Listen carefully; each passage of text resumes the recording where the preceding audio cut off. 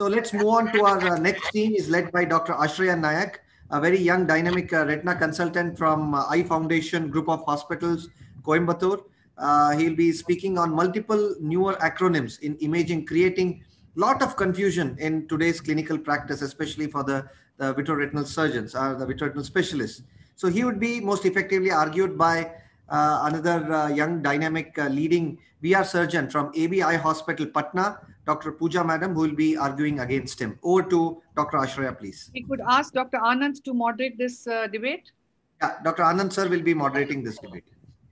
Sure. Dr. Ashraya, you can share your Uh, screen. Yeah.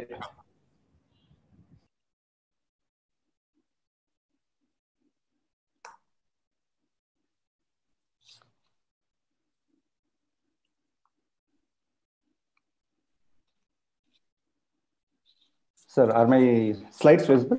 Yes. Yes, Yeah. yes. Uh, good evening, one and all. I thank uh, Dr. Chitra ma'am and ARC for giving me the opportunity. I thank uh, Srinivas sir for giving me the hottest topic of this debate, and I'll be talking on multiple newer acronyms in imaging, which are creating confusion in clinical practice. Acronyms are very fascinating and can look intellectually exciting to use in our daily practice, but when they become too many, they play their own part in causing confusion in the management of the condition. The dictionary meaning uh, the dictionary meaning of uh, uh, confusion is uh, a lack of clearness or distinctness. Uh, i have uh, when acronyms becomes uh, too many they can be uh, confusing so newer acronyms can be confusing if they are overlapping or if one is the corollary of the other or if it's recurrent so let's look at the evidence for each of them. So Govetto et al. in 2017 published two entities, central bouquet abnormalities and ectopic inner foveal layers. The simplified model explains the pathophysiology of these entities when the total force F is exerted by the epiretinal membrane onto the, all the layers of the retina. The stage three and stage uh, four ERMs have overlapping features, uh, overlapping features uh, uh, and it's obvious because they are the consequences of the same pathophysiology and hence both are overlapping which leads to confusion.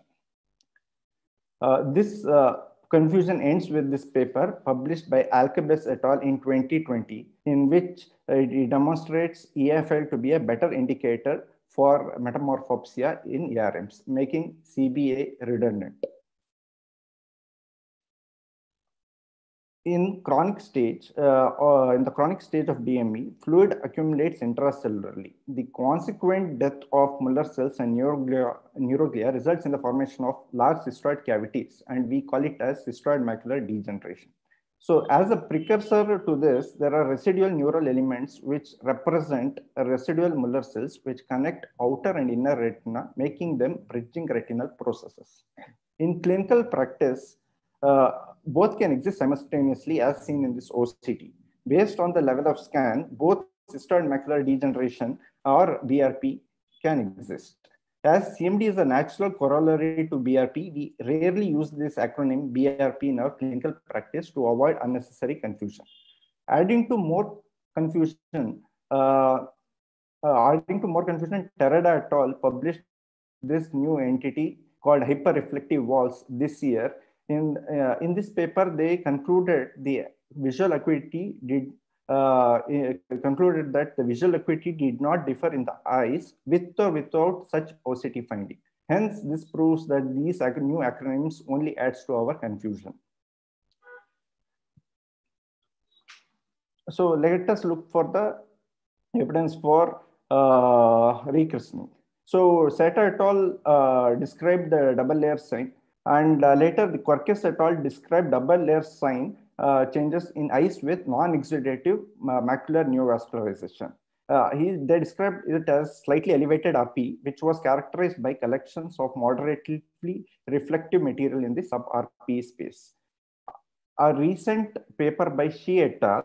Uh, demonstrated reliability for the double layer sign to be a predictor of neovascular, uh, non-exudative macular neovascularization, making it a robust biomarker which can be used to identify these lesions in the eyes with non-exudative AMD. But in 2020, this year, uh, Narita et al. added quantitative parameters to the double layered sign and named it as uh, SIRE.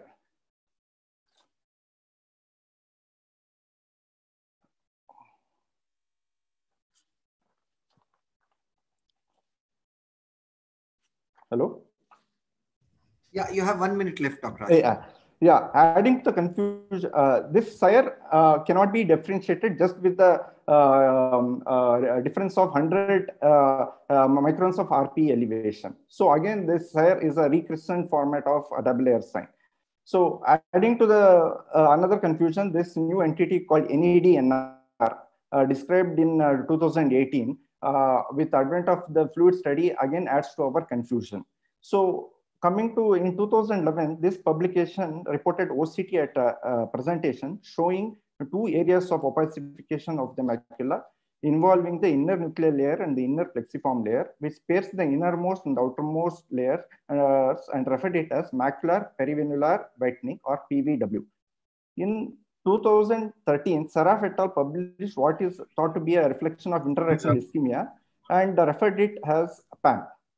In 2016, McLeod published another PAM and uh, which he named it as Munchy acronyms may slate and said Michael Paques et al. had already demonstrated this condition and uh, uh, with this uh, in its OCT, uh, which was very descriptive of PAM.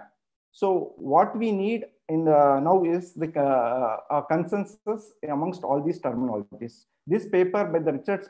Spaide group uh, identified and have a consensus for all these four terminologies. And uh, consensus in all these terminologies like this paper, which was published this year, can standardize all the uh, terminologies to reduce all the confusion.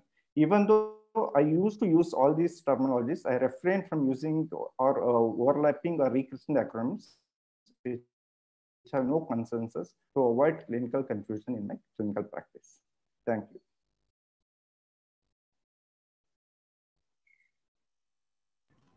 Uh, thank you, Dr. Ashraya. Very nicely put with uh, very beautiful anecdotes and uh, examples with the various uh, clinical trials which have been conducted against uh, the multiple acronyms.